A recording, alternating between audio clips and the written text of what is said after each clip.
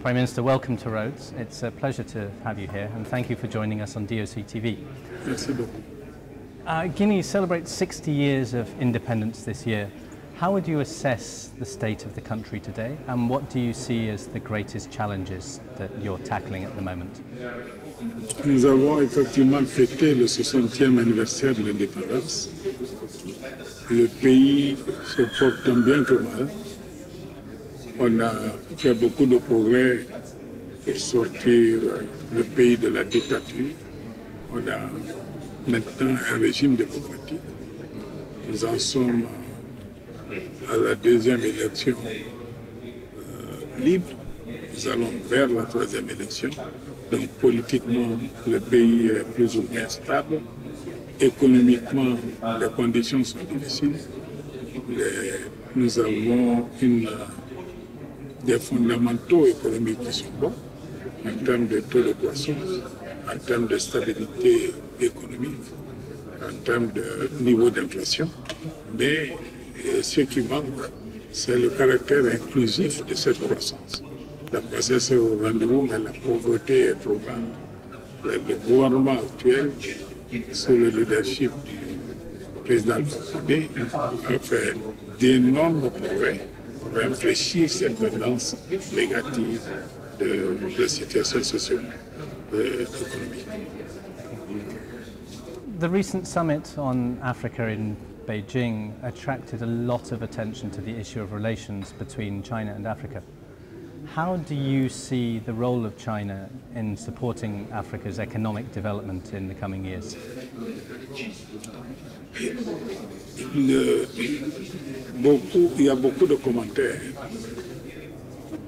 Je crois que la Chine euh, a compris mieux que les autres pays développés qu'il faut parier sur l'Afrique. Il faut parier sur l'Afrique. Le gouvernement chinois, qu'est-ce qu'il fait C'est ouvrir des lignes de crédit qui permettent à l'Afrique de faire face à son sous-développement infrastructurel et qui permettent, chemin faisant, aux sociétés chinoises d'acquérir des marchés sur le marché africain. Alors, souvent, on fait un mauvais procès à l'Afrique pour dire on est en train de tout donner aux Chinois. Ce n'est pas de notre volonté de tout donner aux Chinois. C'est la, Chi- la Chine qui offre plus de possibilités que les autres pays en ouvrant les lignes de crédit aux États africains. The key theme of our summit here at Rhodes this year is multilateralism, and we have a particular focus, as you know, on Africa.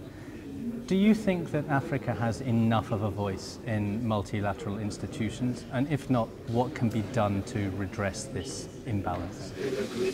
L'Afrique est mal sous-représentée dans les institutions internationales, à commencer par le Conseil de sécurité. Nous faisons la plaidoirie depuis des années pour que l'Afrique ait au moins des sièges au Conseil de sécurité. Nous pensons que c'est notre droit compte tenu du poids démocratique de ce continent qui va s'accroissant, compte tenu du potentiel économique de ce continent.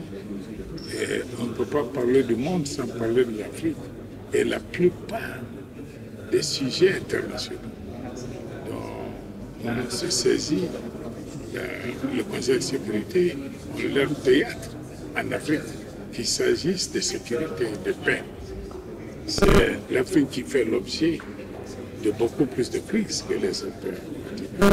Qu'il s'agisse de développement, parce que c'est l'agenda, l'un des agendas du actuel du système de Nations Unies. C'est en Afrique qu'on a plus besoin. Comment voulez-vous que ce pays, ces pays, ce continent, restent ignorés? C'est la raison pour laquelle la plaidoirie continue, mais on tourne en rond. Vous me demandez qu'est-ce qui bloque c'est, je dirais, les membres du Conseil euh, de sécurité qui bloquent l'initiative. Vous avez écouté tout à l'heure en session nous dire que, ah oui, mais si on donne, le problème, c'est qui va représenter l'Afrique. Et donner d'abord et laisser à l'Afrique de choisir qui va le représenter. finally, you're here at the Rhodes Forum for the first time. Um, can I ask what attracted you to this event, this event and what have been your impressions so far? And how do you think events like the Rhodes Forum can help to advance dialogue on key issues at the moment? Je trouve que cet événement est important. Il est important, nous parlons du multilatéralisme à un moment précis où le concept, dans toute sa dimension, est mis en cause. Il y a un élan vers l'unilatéralisme et il y a une espèce de courant opposé entre les pros et les anti-multilatéralismes. Cette tribune, ce forum, à travers ce forum, donne l'occasion d'échanger le pour et le contre. Et donne l'occasion surtout d'enregistrer qu'est-ce qui peut être fait pour sauver le multilatéralisme, essentiel pour la paix, la sécurité dans le monde. Parce que l'architecture internationale créée au lendemain de la Deuxième Guerre mondiale a fait ses preuves sur le front de la paix, sur le front de la sécurité, sur le front de la développement, sur le front, du développement.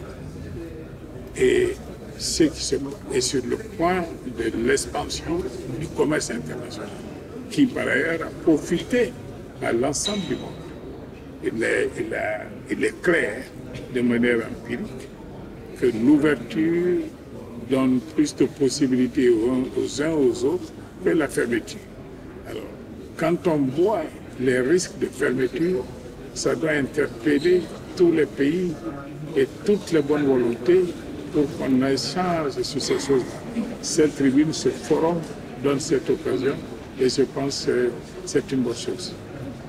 Monsieur le Premier ministre, merci beaucoup pour votre temps. Merci.